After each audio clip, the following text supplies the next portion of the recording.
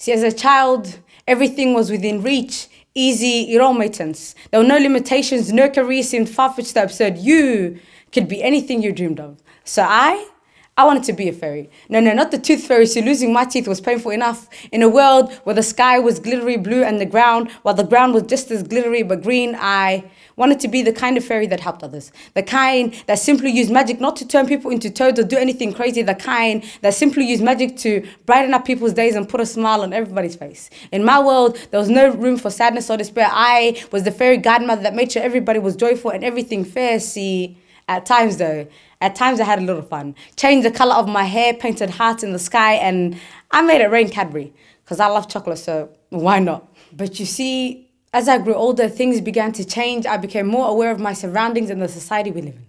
It was so different, so different that at times I was convinced I had traveled to a new world, a world that was full of surprises and not always the good kind. It was a world that put in place all these standards, expecting everyone to abide by them. And if you daringly chose to stray from these standards, you were given names, stereotyped, made to feel out of place and confused. See, this world this world was hard to navigate.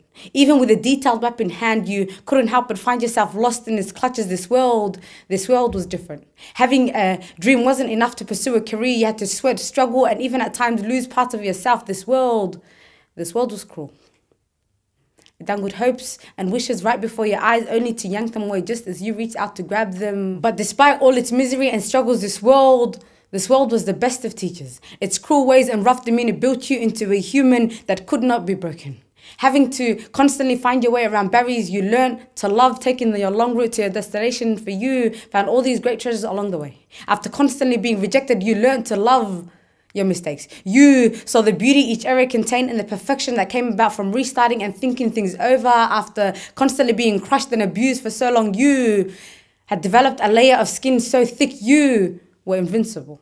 But what helped in a world as crazy and unpredictable as this one was the support and love of friends and family that helped pick you up and dust you off when you were down.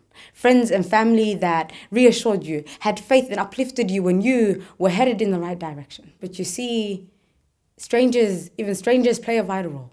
In a world where strangers have faith, where people trust that you will do your job, a world where people extend their hand out to you when you ask for help, where people fight with you when you face injustice. This, this is the reason why I still have hope.